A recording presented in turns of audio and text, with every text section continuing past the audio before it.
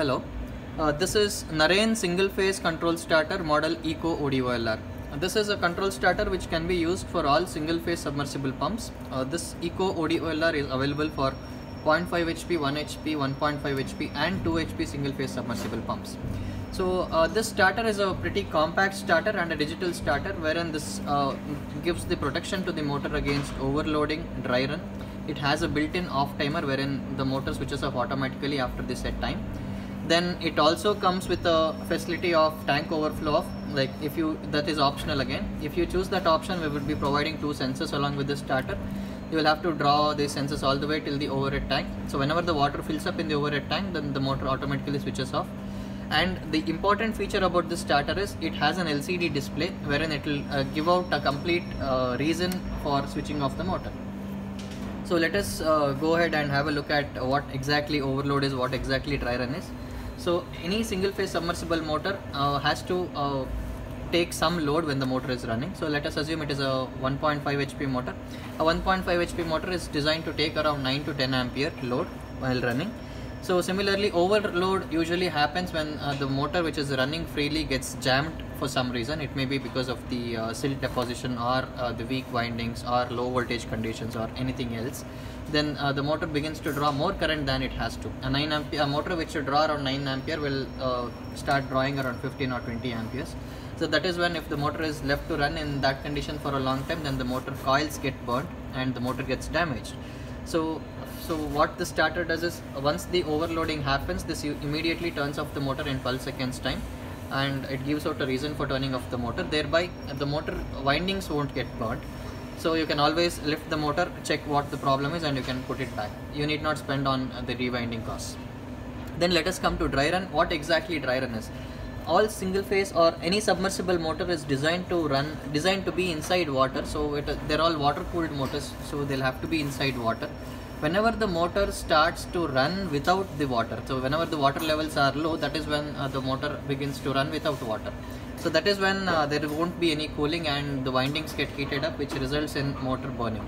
So that is called as dry running. So what this does is it has digital current sensors which keeps uh, sensing the current so whenever a motor begins to run dry a 1.5 hp motor again which should draw around 9 ampere when it runs without water it will start drawing around 6 ampere or 7 ampere which is way lesser than what it has to draw. That is when that is how we sense dry run and we immediately cut off the motor once dry run happens.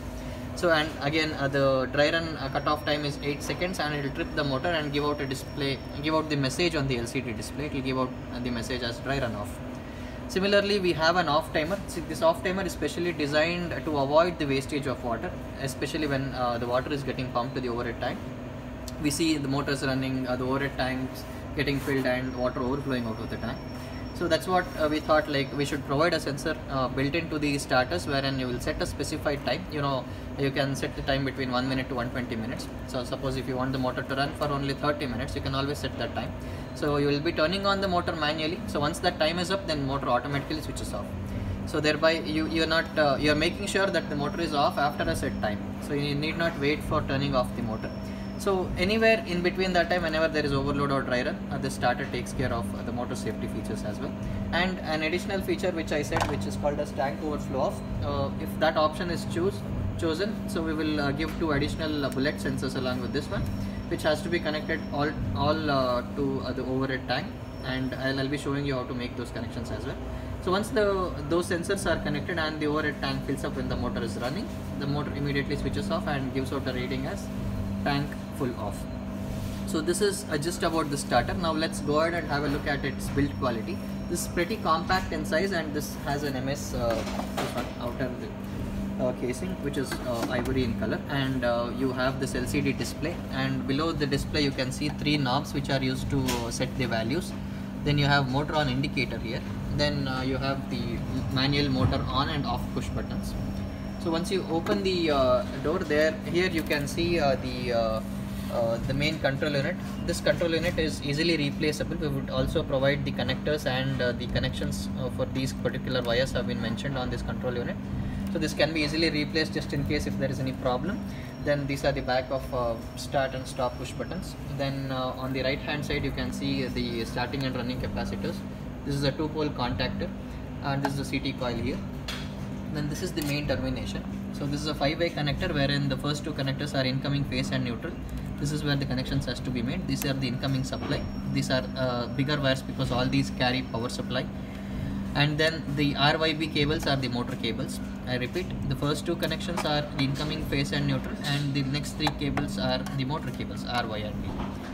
So this these are the only five wires which has to be connected. And again if you choose for the option of tank overflow off this package comes along with uh, these two bullet sensors these two bullet sensors uh, every bullet sensor has this bullet and a wire.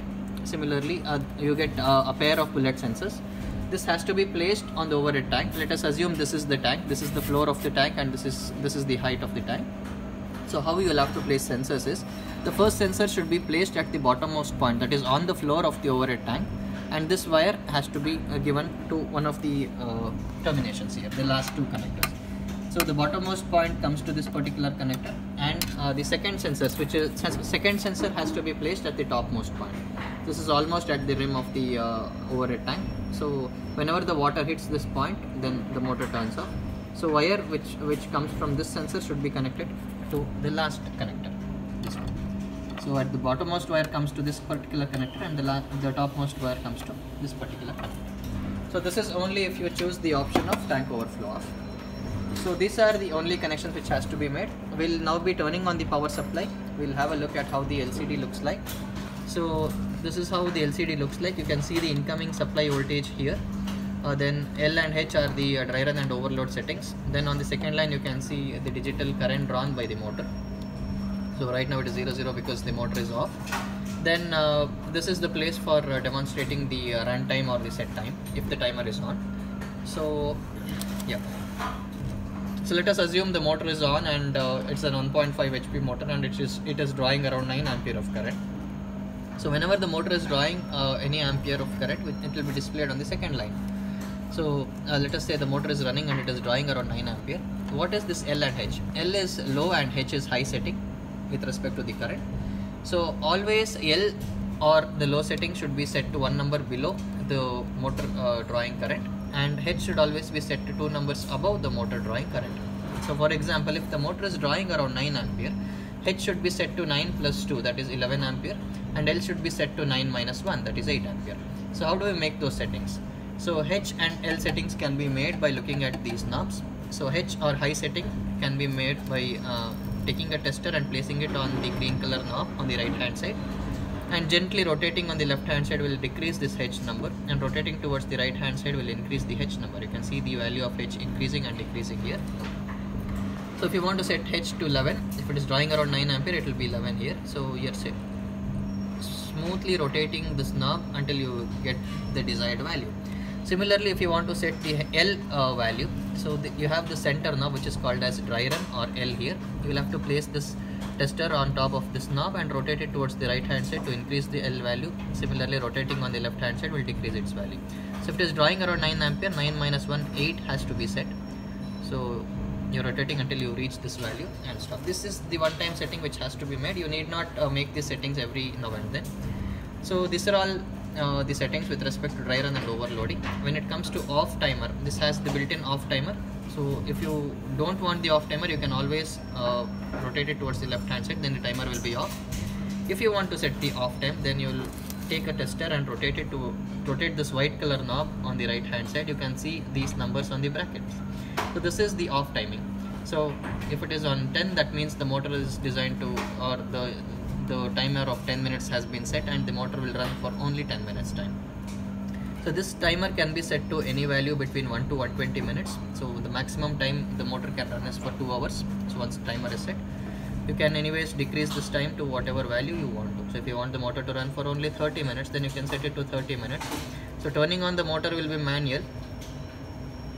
So 30, yeah, there you go. We got it to 30. So turning on the motor will be manual and after this 30 minutes time is up, the motor will automatically turn off and give out reason, uh, the reason for switching off as timeout. Similarly, if the overhead uh, sensors are connected, so if the overhead tank fills up before this 30 minutes time, then the uh, motor again turns off and gives out a reason as tank full off. Uh, and another important feature about this timing is whenever the motor is running, you can always come and see the run time So suppose uh, the, you've just started the motor and you come back after 10 minutes time and you want to know how for how long the motor has been running. You can always check the timings on the second line. So here, so this uh, the reading here uh, reads uh, uh, the uh, the elapsed time or the run time.